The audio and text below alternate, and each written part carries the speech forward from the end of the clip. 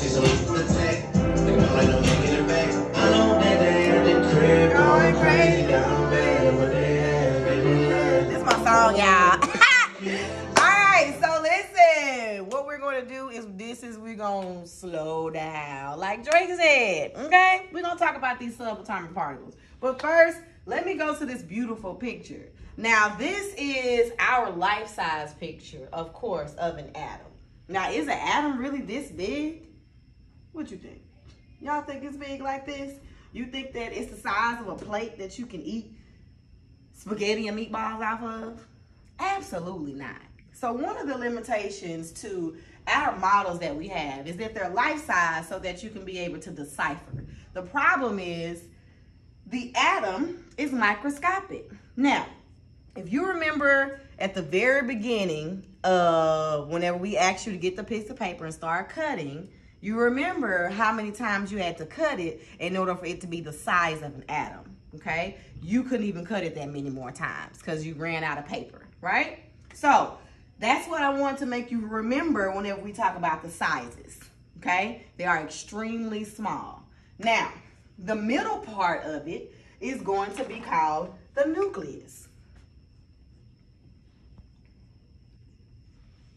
And that's the middle part. Now, when we talk about the nucleus, we talk about the brain, whenever you're talking about cells and stuff like that. Right now, this is the nucleus. Inside of the nucleus is the protons, which is why I have this plus sign, and the neutrons, which is why I have this zero because it's neutral, okay? And then this right here is an electron, and it's located in the electron cloud.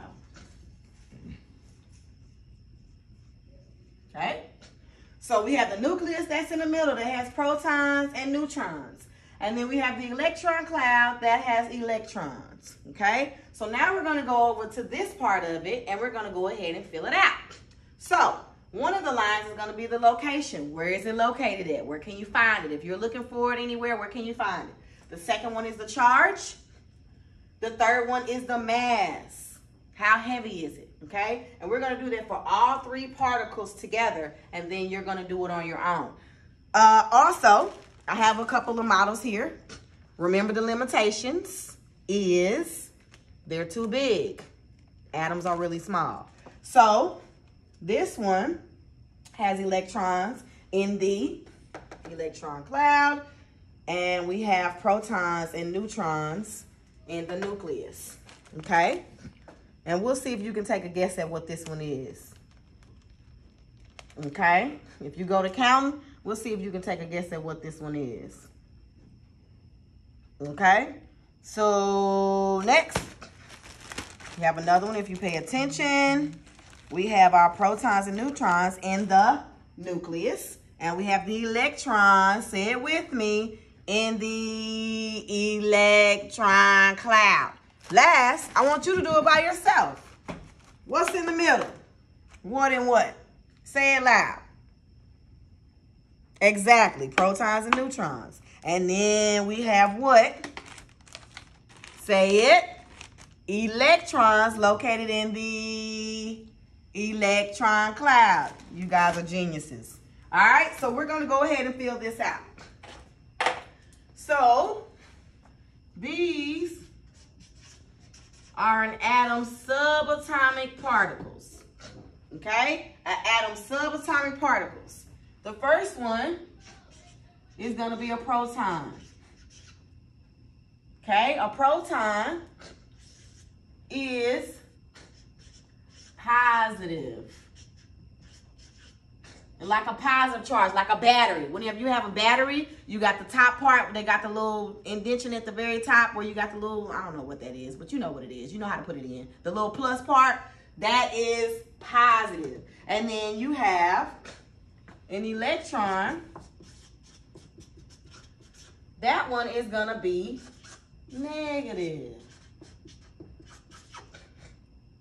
The negative sign.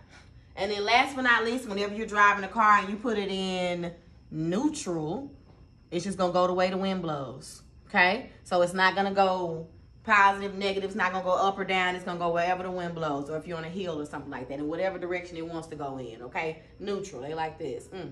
neutral. So that is a neutron.